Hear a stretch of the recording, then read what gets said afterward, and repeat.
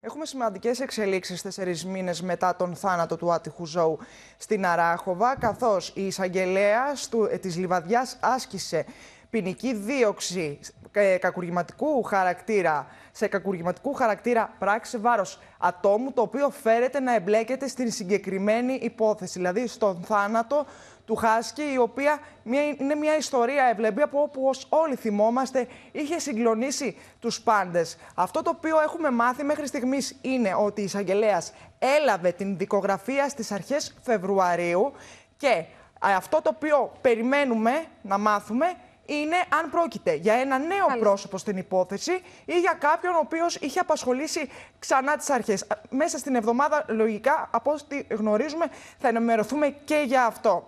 Πάντως, σύμφωνα με πληροφορίες, ε, στο στόχαστρο των αρχών βρίσκεται το άτομο αυτό εδώ και αρκετό ε, διάστημα. Ένα από τα άτομα, να, για να είμαστε συγκεκριμένοι, βρίσκεται στο στόχαστρο των αρχών, στο κάδρο των αρχών εδώ και αρκετό διάστημα. Υπενθυμίζουμε ότι ένα από τα σενάρια τα οποία είχαν εξεταστεί για την υπόθεση του Όλιβερ ήταν να είχε ε, χάσει τη ζωή του μετά από επίθεση της Αγέλη. Και να πούμε στο σημείο αυτό ότι η αντισαγγελέας του Αρίου Πάγου, η κυρία Μασούρα, είχε ζητήσει τότε με κατεπίγουσα παραγγελία τη διερεύνηση της υπόθεσης θανάτου θανάσιμου τραυματισμού του Όλιβερ και αν στην περιοχή εκεί βρισκόταν όντως αγέλη ζώων. Μένει λοιπόν να τα δούμε όλα αυτά, να σε ευχαριστήσουμε.